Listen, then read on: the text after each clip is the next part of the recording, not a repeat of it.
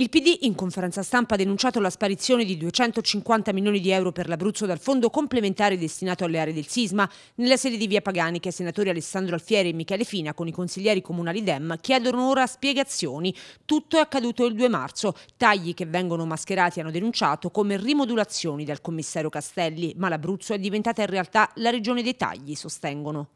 Adesso per trovare i soldi eh, per i comuni a livello nazionale eh, vanno a incidere sul piano nazionale complementare, dove c'erano i 250 milioni, anzi erano un miliardo e sette all'inizio per le zone eh, terremotate, tolgono 250 milioni. Li spostano in avanti, dicono io non mi fido, noi non ci fidiamo perché abbiamo visto questo governo come bravo a far sparire le, le, risorse. Siccome sono interventi attesi da tempo da queste comunità che hanno bisogno di quelle risorse per ultimare i progetti per la ricostruzione, per opere attese da tempo, noi vogliamo fare questa denuncia con grande forza e vogliamo sapere subito quei soldi se ci saranno davvero, quanti di quei soldi riguardano questo territorio, in particolare la provincia eh, dell'Aquila.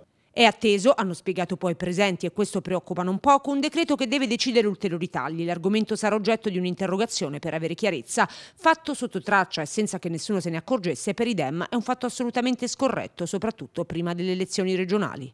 Cioè ci tolgono i fondi e ci promettono poi, eh, come ha fatto Castelli in relazione proprio a questi 250 milioni rubati alla ricostruzione dei territori del cratere, eh, ci promettono che ci saranno tra un po' di anni, saranno ritrovati, ricercati, eh, spostando tutto avanti. In sostanza, quando bisogna trovare fondi per ripianare progetti di altri territori, si prendono all'Abruzzo. È già successo per un miliardo e mezzo con il PNRR e adesso succede per 250 milioni con il piano complementare che fu un progetto da noi costruito, da noi pensato, da Giovanni Legnini, governato con grande senso delle istituzioni e non come fa Castelli, andando a tutte le iniziative di partito, quindi un commissario di parte. Questo piano che noi abbiamo pensato con fondi nazionali che si aggiungevano a quelli europei, oggi viene tagliato a danno delle popolazioni dell'Abruzzo.